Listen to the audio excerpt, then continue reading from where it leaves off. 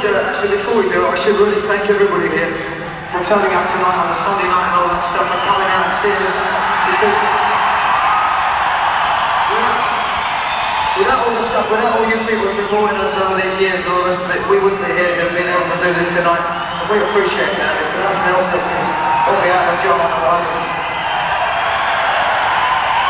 Probably robbing our mums and dads. This is a film all about uh, war and what a stupid idea the whole thing is.